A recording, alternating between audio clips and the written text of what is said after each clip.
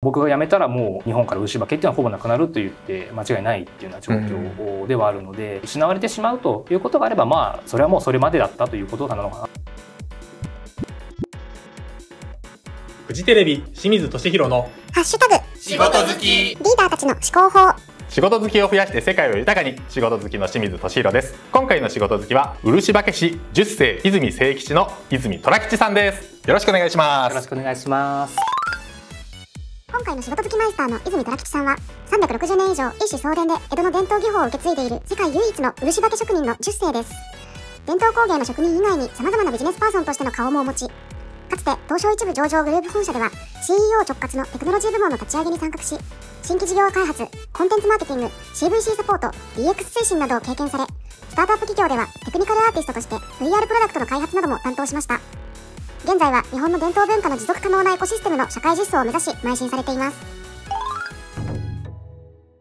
漆化師ってこうちょっとあんまりこう馴染みがないかなと思うんですけど、漆化けっていうのはどういうものなんですか？漆化けっていうのはですね、うん。まあ、その名前の通りあの漆を塗るための刷毛えーでして、輪島塗りとか春景塗りといったあの、うん。いわゆる漆器ですね、まあ、そういったものを塗るために使われたりですとかまああとあの大きいところで文化財ですね、まあ、国宝とか重要文化財とか世界遺産とか、まあ、昔のものってちょっと乱暴な言い方ですけど、うん。漆がやはり使われているので、まあ、そういったものを直しますっていう時だと当家の漆化けっていうのを使っていただいているっていうような形ですね。はい創業がえっ1000と、1656年1656年江戸時代ですよね。そうです、江戸時代の明暦になりますね。えー、明暦って言ったらあの明暦の大火とか江戸時代の中でも本当に前半の方ですよね。そうです。まさに明暦の大火の前年から、はい。あの創業という形ですね。その頃から今、まあ、10世泉清吉ってことはずっともうおじいさんのおじいさんのおじいさんのっていうことでずっと続いているそうですね。あの。代々家業としてっていう形で、うちの場合はその屋号で継いでるっていう形ではなくてあの実子で、まあ、おじいちゃんから父親、父親から子供っていうような形で10代つないできたっていう形になります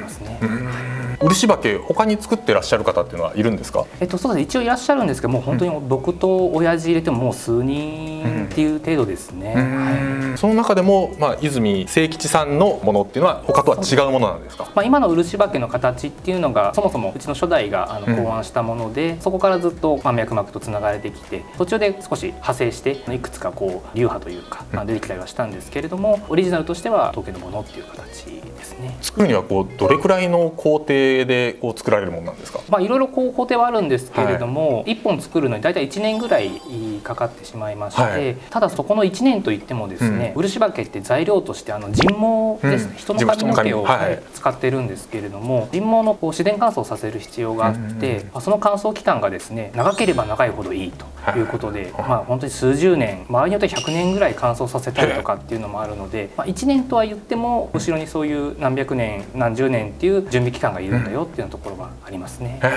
じゃあ今作られてる刷毛も例えば明治時代ぐらいのものとか100年とかだとそういうものももう置いてるものがあるんですか？そうですね。おっしゃる通りで、はい刷毛もいくつか種類があるのでうん。ブランドにもよるんですけれども、いい刷毛とかに関しては本当に僕のおじいさんですね、うん。八世泉清吉とか、まあ、はい。父親である九世泉清吉が集めてくれた材料人毛とか木とかっていうのを僕が使うとか。で僕が今集めているものも11世12世とか、まあ、次の代次の次の代とかが、うん。あの使ったりっていうことがあるのかなっていう感じですね。うん。人毛ってどこで仕入れるんですか？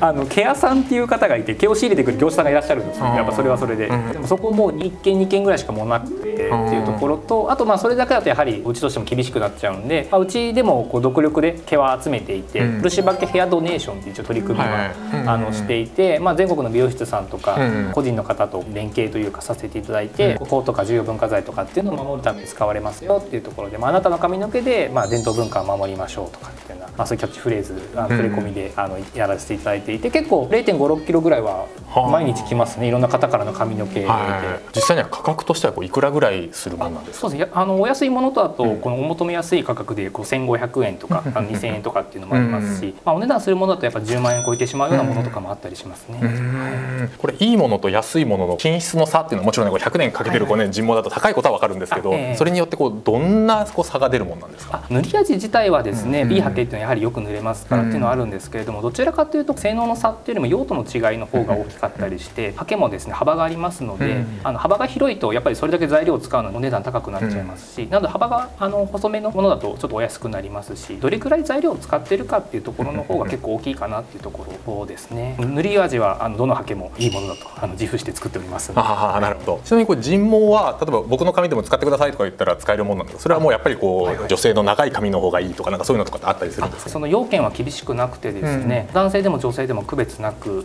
ていう形でただ長さが15センチ以上ないとハケが作れないっていうところがあるので、うん、まあ、長さが必要という意味で、まあ、女性の方が一般的には長い髪の方が多いですから、うん、あのそういった意味で女性の方の方が多いかなっていう感じですね。パーマかかっていても大丈夫ですし染めていても大丈夫ですね。これでもまあ漆のね、まあ、漆器とかお寺のねあの体験とか、まあ、いろんなところで今でも漆ってたくさん使われてると思うので、まあ、需要が本当のゼロになるっていうのはなかなか確かにないのかなと思うんですけど、えー、そうは言っても今日本の伝統工芸って大変なところ結構多いと思うんですけど、ね、漆化け、まあ、実際これ需要っていうのはあるんですか？そうですね。おっしゃっていただいた通り、市場自体は縮小はしてはいるんですけれども、うん、まあ、職人さんっていうの数はやはり、まあ、一定数はあのいらっしゃいますし、うん、あと文化財の修復とか保護っていうところは順番に全国のこういろんなお寺だとか神社だとか、うん、まあ、そういったもろもろのところであの発生はしておりますしあと最近ですと特にコロナ禍入ってからぐらいなんですけれども、個人のお客様のご注文が結構多くてですね、世の中にはいろんな方がいらっしゃいまして、はい、例えば釣りが趣味な方とかで釣りが好きすぎて釣り竿を自分で作るとかっていう方とかもいらっしゃるんですね。はい、で昔の釣り竿、まあ、ヘラ竿なんかは漆が使われておりましたので、うん、こう自分で釣り竿を作る。漆を自分でハケで塗るとお客様とかで漆取りのロットを作るためなんですかそうですロットを作るっていうところで。で探して探して1枚たどり着いていただいて、はい、自分で塗りたいと、うん、でそういった方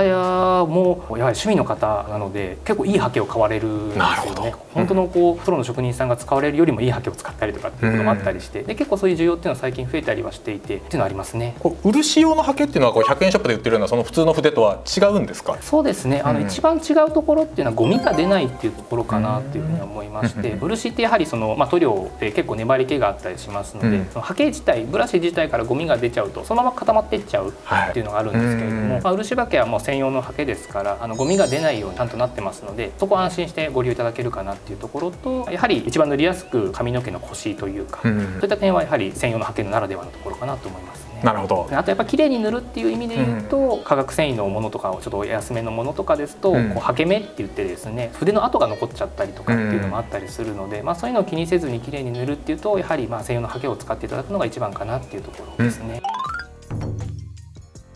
これ伝統工芸の場合こう需要の問題と大体後継者不足っていうのがね、ええ、単にねこう売れないからこう、ね、後継者がいないっていう面もあるかと思うんですけど、はい、そういう意味で言うと10代しかも一子相伝で続くっていうのは、ね、なかなかプレッシャーもないですか？自身が辞めようと思ったらもう途絶えてしまうってことなんですかね、え、そうですね。僕が辞めたらもう日本から牛化けっていうのはほぼなくなると言って間違いないっていうような状況ではあるので、うん、まあ、その点ではまあちょっとプレッシャーというか、まあ、責任を感じるところはありますけれども、うん、まあその辺りはなんというかもう受け入れたというかあまりこう考えずに自伝体で仕事をさせていただいているっていう状態ですね。こうでも実際には続いていってお子さんにもどんどんこう続けていきたいみたいには思われてるんですか？そうですね。うん、まあ無理強いをするつもりはないですけれども、うん、まあできれば続いていってほしいなというふうには思いますね。これ本当にあのそもそも論のところでぜひ聞いてみたいんですけど、え伝統っていうのはこう続かなければいけないのかどうか、なぜ伝統はこう守るべきなのかっていうとどういうふうにお考えになりますか？続かなければいけないっていうことはないと思っていて、うん、続くなら続いていくっていうのはまあなかなかニュアンスが難しいですけれども、世の中が変わっていきますし時代も変わっていくし、まあその中でこうやはりまあいろんな変化の中で失われてしまうということがあればまあそれはもうそれまでだったということなのかなっていうふうには僕は思っていますし、うん、まあ、ただあの僕個人としてはやっぱりそういった文化がなくなってしまうのは惜しいなっていうところはあるので、抵抗というのもちょっとなんかあれですけども、精一杯続けられるように努力をしていきたいなと思っていてでその結果続かなかったということであれば、うん、まあ、僕自身の疲れ不足っていうのもありますし時代としてそういうものなのかなっていうふうには思うので、まあ、その辺りはこう駆け引きというかバランスというか、うん、まあ、世の中とのこの兼ね合いなのかなっていうふうには思いますね。でもねこう文化に根付いたことによってはいろんな今のねこのアクリル板にしたって何にしたってこうたくさんの文化に上でこう成り立っているものだから、えー、それがこうちゃんと現代に形で生き残っているとそ、ね,、れとのまたね密接な関わり合いとかこうなぜここに存在するのかみたいな考えるきっかけにもなりますよね。やはりその伝統文化どういった分野にかけもですね、うん、続いているのには結構理由がやはりあったりするので,、ででしっかりこうなかなか説明できていなくても科学的な理由があったりだとかっていうこともあるので、まあ、そういったものをちゃんと明らかにしたりですとか、全く別のものですね。あの今までなかなか伝統文化っていうのは関わらなかったような分野と、まあ、しっかりとあの交流をして関わって新結合というか、まあ、シナジーというか、まあ、新しい価値を生み出してっていうことが今求められているのかなっていうふうには思いますね。これ例えば歌舞伎とかだとニコニコ超歌舞伎みたいなこうねあのデジタルを融合させてとか、まあ、いろんなことを、まあ、需要を喚起するため、はい、後継者を増やすためにこうやってるケースってあるかなと思うんですけどこれ何か工夫されてることみたいなのって泉さんはあるんですか？そうですね、まあ、おっしゃる通りその後継者不足の問題って、まあ、いろいろ原因はあるとは思うんですけれども、うん、一番はやはりその需要不足でお金が稼げないっていうところなのかなっていうふうには思ってはいて、うん、なかなかこうお金がこう稼げないとご飯食べていきませんから、うん、それなのに仕事をやってくれというのは、はい、なかなかそれはちょっとおかしな話だと思うので、まあ、しっかりと産業としてお金を稼げるようになるっていうことが大事かなと思っていて、まあ、漆化けとしてはですねちゃんとそういった情報発信とかっていうのを僕は個人でやらせていただいておりますし、うん、もうこれは漆化けとか漆芸とか工芸だけの小さな話ではなくて、うん、こう伝統文化とか伝統産業っていう業界とか産業全体の問題であり課題なのかなっていうふうに思ってはいるのでその産業として皆さんがちゃんとしっかりとご飯を食べていけるように、まあ、需要を作っていけるようにそういう新しいエコシステムを作っていくっていうことが大事なのかなと思って、まあ、結構そういった取り組みはしていいるというような状態ですね。これあのお父様のインタビューをちょっと見た時にもう8世からは少ないと言われてそれなぜかって言ったらハンディカメラとかねこうビデオカメラを作られていたけどやっぱりこう大きな組織の中に入ってしまうとこう、ね、自分がやってる部分ってこう全体が見えないでこう本当にこれってものづくりなんだっけ？ってやっぱ思うところがあってこう漆化けに行ったみたいな話をちょっとこう読んだんですけど実際にこう漆化け師として漆化けを作る魅力みたいなのってどういうところに感じていらっしゃいますか？父も言っている通りですけれども漆化けっていうのはですね本当にあの最初から最後まで材料を仕入れるところから最終的に漆化けっていうものを作って出荷あのご納品させていただくくところまで全部一人で作るっていうものになるので、うん、本当にそのものづくりの楽しさというかやりがいみたいなところは全部詰まっているのででしかも機械を使わずに手仕事でっていうところがあるので面白いですね単純にこう作っていて。全然飽きないですし、うん、親父ももう何十年も作っていますけれども、まあ、まだまだだっていうふうには言っていますし、はい、なので一生こうやっていても飽きない仕事というかこう成長できる仕事というか、まあ、そういったところは非常に魅力かなっていうふうには思いますね。そんな面白くて魅力的で需要もまあある程度はこう続いている仕事なのに、はい、漆化け師以外の仕事も普段ってされてるんですか？あそうですね、はい、漆化け師っていう、まあまあ、ものづくりの職人も、あのしながらですけどももともと就職はしていてですね、そちらの方で新規事業の開発ですとか、まあ、デザイナーとかエンジニアとかいろんなことをちょっと仕事としてさせてもらっていたので、まあ、そういったところもですねせっかくスキルがあるのでそこも生かしていきたいなと思いますしやっぱそういった分野って今時代の変化早いですから、うん、やめてしまうともうすぐにノウハウとかスキルって古くなってしまうので最前線でやっぱり戦っていくためにはですね、まあ、そのお仕事もあのやめずに継続してやっていく必要があるなっていうところを感じているので、まあ、そういったところもあってですね、まあ、いろんな企業さんの新規事業のお手伝いだとか、うん、あっていうのをさせていただいたりだとか、まあ、あとデザイナーエンジニアとして実際ちょっとまあ稼働というか、うん、あのそういうこともありますしっていう感じですね。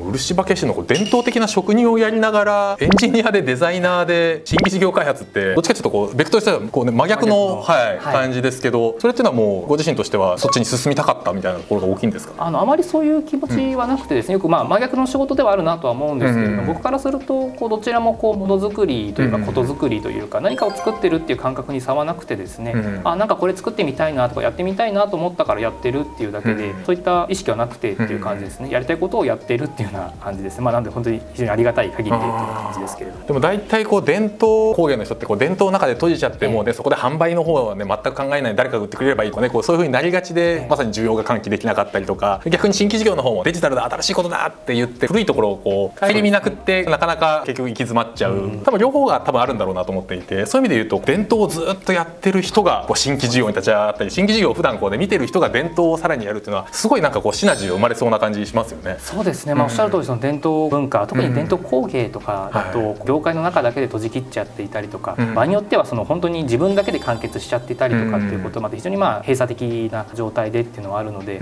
あの一方でまあ僕はまあそういった伝統の文脈っていうのを持ちながら一方でデジタルとか、まあ、スタートアップであるとか新規事業であるとか、まあ、そういった今時というんですかね、まあ、そういった別の分野の仕事もさせてもらっているので、まあ、そういったこう両方の分野をつなぐ橋渡しっていうのも僕は今10代目ですけれども、まあ、10代目としての仕事の一つなのかなっていうふうに思ってはいて、まあ、そこの高架け橋とかっていうところにはなれたらいいなっていうふうに思ってますね。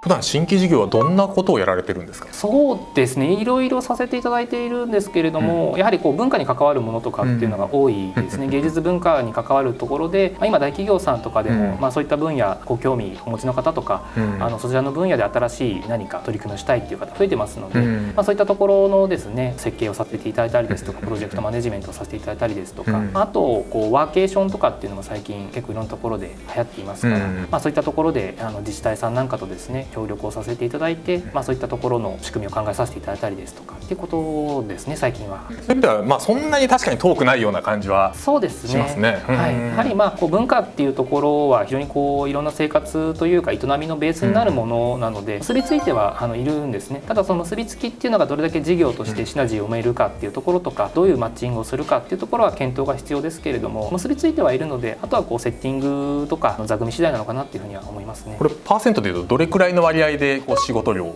てるんですか？そうですね。まあ漆化けが一番多いのは間違いない状態なんですけれども、まあその時々によってっていう感じですね。まあ変な話案件によってみたいなところではあるんですけれども、まあなので六七割くらいがまあ漆化けとか伝統文化っていうところで、まあ残りの割合がの中でリソースの中でそういった新規事業だとか、まあデザインの仕事だとかっていうのをさせてもらったりとかっていう感じですね。漆化けっていう仕事で六七割でそんな新規事業だこうデザインだそれが三四割しかないとすると寝てるんですか？まあ健康には非常に気をつけているので、はい、まあその無理のない範囲で、えー、ではありますけれども、他の一般の方よりはこう仕事をしている時間は長いかなと思いますね。それはまあすべて好きだからゆえにできるってことなんですかね。そうですね。やっぱその、うん、あの好きな仕事しかしないっていうようなことは結構意識はしていて、うん、あまり嫌な仕事ですね、うん、っていうのはしないようにっていうふうには心がけていますね。はい、これやっぱり新規事業とかいろんな企業関わってると当然調整事とかをねこう、はい、いわゆる嫌な仕事も多いのかなと思うんですけど、えー、そういうのはこうどういうふうに断るようにしてるんですか？調整周りは、まあいろいろ発生はしますけれども、でもそれはそのやりたいことの中に含まれているものなのかなっていう認識 なのでそこはもう全く嫌だとかっていうネガティブな気持ちなくあのむしろ積極的にアレンジとかをさせていただいたりとかをしていてますね。そもそもそのプロジェクトのこう方向性とかがちょっとこう僕の方向性とはちょっと合わないなっていう ところがあればそこはちょっとご遠慮させていただいてっていうまあ大きな方向性みたいなところですね。ご自身の中でこう大事にしてる方向性とかこうミッションみたいなものってお持ちになってるんですか？そうですね。やはりこうまあ文化とか、あの芸術っていうところはやはりこう大切にしていきたいなっていうふうには思いますし、まあそこに関わるものとして人とか自然っていうところですね。まあそういった人とか自然みたいなところを大切にしたいなっていう気持ちはあったりするので、あまりそういうのをこうまあ大切にしないものってなかなかないでしょうけれども、あのネガティブなものっていうのはご遠慮させていただくことが多かったりはしますかね。今後こうねデザインとかこうテクノロジーとかまあいろんなものを掛け合わせてご自身でやられるこう伝統文化をこんな風にしていきたいみたいなものって何かおありになるんですか？そうです。まあすごい露骨な言い方でこれを言うと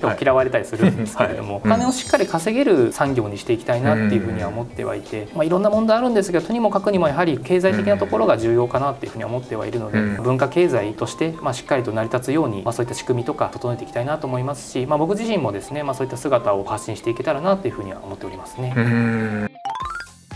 回の学び伝統は現代の文化との関わりを持って新しい価値を生み出せる。仕事の枠組みを作らず自分の興味があるものに挑戦していくことで広い視野が得られる自分のやりたい方向性を定めておくことで好きな仕事をこなしていくことができる。後編では漆化け職人と新規事業支援の両立のきっかけを聞いていきます。本当にねこう2足も3足もなんかもう足ぐらいでわらじ張られてる、ね、状態から、まあ、本当にね今どうやってご自身歩まれてでしかもプレッシャーも多分ねもう300年以上の歴史をこう、ね、背負ってるって相当なプレッシャーだと思うんですけど、まあ、それをどういうふうにこう乗り越えて今にこう至ったのかっていうあたりをぜひこうライフチャートを使いながらお話を伺えればと思いますので皆さんもチャンネル登録をしながら後編お待ちいただければと思います。